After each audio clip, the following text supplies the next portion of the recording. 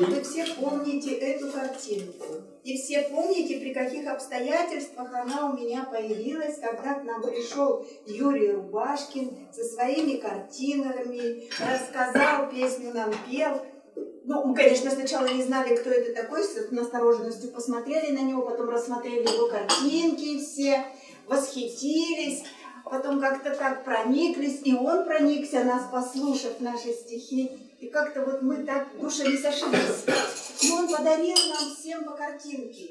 У меня в то время было такое вот настроение, прям вот, вот такое. И вот именно эта картина меня взяла. Я только маму похоронила, там еще проблем куча была. Думаю, ой, ну это же он про меня написал. Вот про меня написал вот эту картину. И она мне прям на душу легла. Я два месяца все время на нее смотрела, смотрела. А вот на прошлой неделе, в понедельник, перенесла ее в комнату, где я там Чусенштиль для СВО, и поставила перед собой, сама от краю, на нее все посматриваю. И вдруг солнышко упало.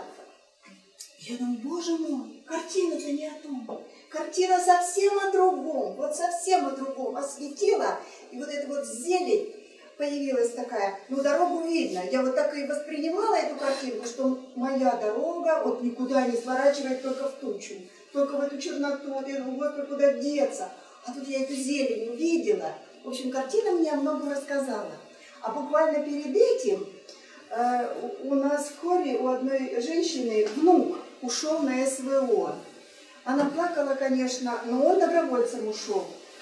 А у другой ушел сын. И он сказал, мама, ну а кто, если не я? Вот у меня, говорит, есть сын, его защищать надо кому-то. А внук сказал бабушке, э, уже прошло, наверное, месяц или полтора, и у них там ЧП большое случилось, я про него рассказывать не буду. И он говорит, бабушка, не плачь. Мы мужики, мы все преодолеем. И вот это вот как бы, я думаю, ну посмотри, какие хорошие семена посеяли, да, вот внук так сказал, сын ушел добровольцем, то есть говорит, мать, ну а кто защищать-то будет, сын сказал. И вот как-то это сложилось все как-то в один день, в один раз. Ну, мне, конечно, сверху написали, мне сверху сообщили, и я записала стихотворение. Вот, во-первых, под светом я рассмотрела вот этот крест. Вот видите, тут же вот он крест, оказывается. Вот я когда поняла, что картина не о плохом настроении, картина о другом. И вот такое получилось стихотворение. Дали земные и дали небесные, Светлые дали и дали туманные, Манят и сердце, и взор неизвестностью. Что же там ждет меня? Что, не обманывали? Не повернуть, не укрыться, не спрятаться. Мрак над Россией плывет, сгущается. Время молиться и время покаяться. Крест разглядеть, принимая без ропота. Тяготы, грозы, все это не вечное. Только земля моя, светлая родина, Богом хранима и Богом отмечена.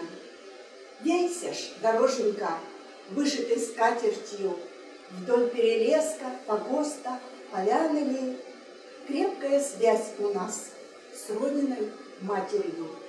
Поле засеяно, всходы проглянули. Браво!